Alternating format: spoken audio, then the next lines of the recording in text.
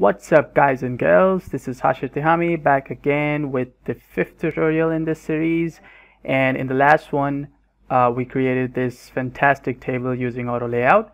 And you can see this is the whole table is responsive but we were designing this specific table. In the last one we just created the actual structure of the table and didn't do anything with these columns and this one and this one. So in this one we are going to wrap this up so for the status column we have three different statuses.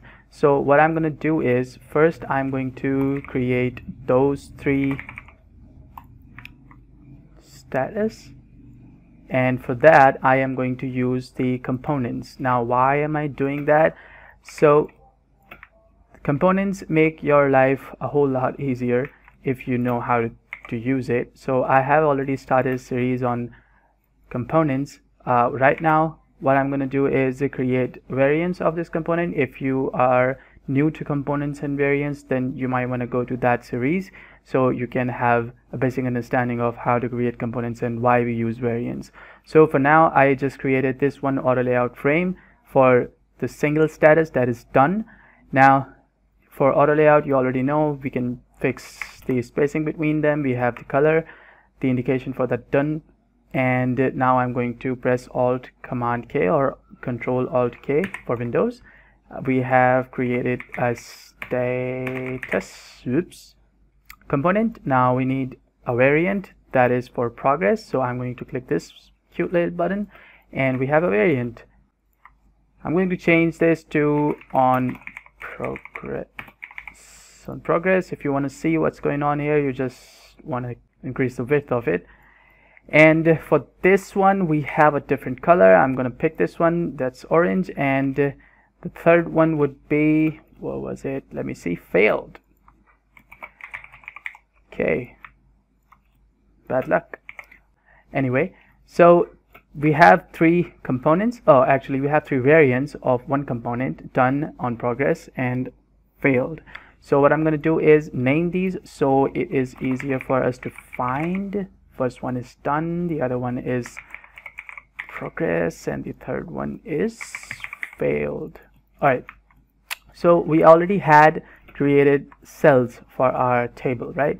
So for the cells it would be really nice that we have all the types of cells in this specific component. So what I'm going to do here is I'm going to create a, a variant in our cell component and take one of these statuses and put it right here. Now this specific cell is is not that special so I'm going to call it text. The other one would be status. And why did I do that? Why did I define the statuses differently and then the cell individually? So if I pull that one out you can see that I, I have the choice to either select text cell or a status cell. But if I want to change the status inside that specific component I might want to dive in by clicking double click or you might get it from there as well. Select the component and now I have the full authority to change the progress or done or you know any of these statuses that we had defined here. And in future if you find out that oops I forgot one status to add then it is really simple. You just have to click this variant button.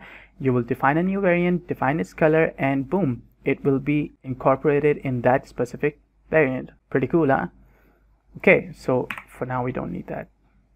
All right so the other one is ready. Let's just change these because we have defined it. So I'm going to change these to statuses and it's done. Voila. And uh, if I want to change the status I would just have to double click select the status and you know change the status okay so the other one was ticker. Again it's just text based then there's timestamp. Again text based so I'm not gonna uh, spend much time on it. I'm just going to type some random oops. Text over here. And for timestamp I'm going to um, just put some random date for now just so it looks clean and done. All right so for progress we have this cute uh, progress bar and you might want to see also that the table is working. So yes it is working. We are done with our status column and it's still intact. Wow that's a miracle. Because anyway I'm a genius so why won't it be? Heh, that was a joke. Anyway so next one is progress bars now for progress bars the easiest way to create a progress bar in auto layout is to define it define a simple rectangle. I'm going to give it a 4 radius. Um, it's pretty thick. You don't want it that thick.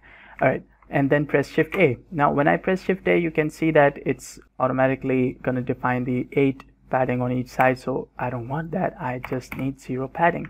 Why do I need that so I'm going to explain it in a bit. Hang on. Now I'm going to specify the width of this progress bar by going here and make it fixed width. And now I'm going to select the rectangle inside that auto layout frame and gonna make it a bit smaller. Now when I click the frame and give it a fill color you can see that the background color is filled and this can be used as our progress bar alright so the background would be white and this has the radius 4 so I'm gonna give a 4 radius to the background as well. And yep we are ready with our progress bar as well. So all we need is a text here 100% okay I see a problem here. It's not that big of a deal. I'm just gonna make it a bit smaller okay I think it's done uh, if you want to change the height and width you can just do it by doing this and grab the rectangle and make it the same height as the background and that's it so again I'm going to do the same thing as I did for statuses. I'm going to create a component. First, I'm going to define these two in a single frame of auto layout again for distance and alt control K. A component was defined.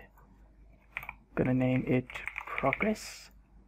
And I'm going to add a new variant in it. I'm gonna pick this color for progress. Since it's 100% we don't need that width. I'm going to make it wide enough. For the second one this is orange.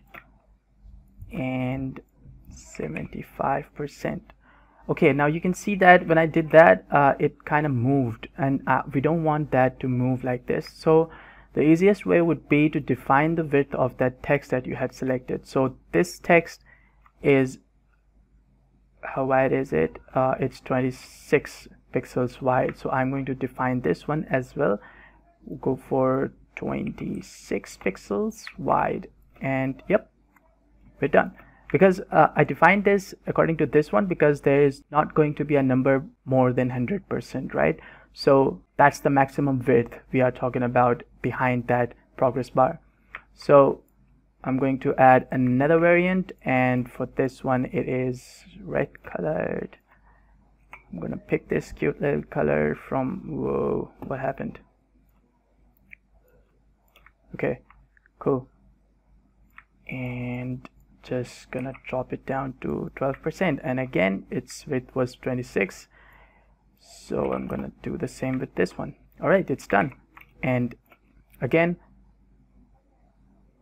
I'm going to define another cell for progress. Name it progress right over here and paste one of the progress bars in here. Cool now you can see that there is a bit of spacing between this so you can adjust it by directly you know changing the width of that specific cell. And that won't affect it because we have auto layout. Now I am going to select all of these boxes and select progress. Now what happened here is the height of these specific cells were defined hug. We don't want hug we need fill container and it still doesn't work. Because the frame they were in was not defined as fill container so I'm going to again select this and fill it for the container. And that's done. So now all you gotta do is change these statuses. I'm gonna just throw random status here and there just for you know example and I think it's cute enough. Alright so last one is action. We need two icons so I already have these two icons. All I need to do is create a new cell. And again it depends what kind of icons you are using. If you are using a library predefined you just want to grab those icons and paste them here. In my case I haven't really defined any design system yet so I'm going to use these icons right now. And yes copy them and I'm pressing control shift R right now what it does is it replaces the items that you have copied with the item that you have selected. So I have selected this specific layer lorem ipsum text and I'm going to press Ctrl Shift R. So what it did was it replaced those icons that I had copied with the object that I had selected. Quite cool, huh? And again, I'm going to increase the height of these icons, maybe give a bit more padding about 16 pixels. Mm. and yeah we're done. And now all we want to do is grab all of these cells right over here and go to variant 4 that I haven't named yet. So I'm gonna press this and call it action because it was defined as action column right here okay and again the same thing happened. So I am going to press or select all these cells and press fill container. And the container they are in should also be defined as fill container. And wow that is awesomeness right here. So yep you have created a flexible auto layout table just as defined as here. It is a bit different but you know you can fix that right? Okay so that's it for this tutorial. Make sure you subscribe the channel because I am going to make the auto layout chart that is present right in front of you. I'm going to teach you all how to make a responsive chart that can be used on auto layout and be responsive on all the devices. So that is going to be a really interesting tutorial. So yeah stay tuned. Cheers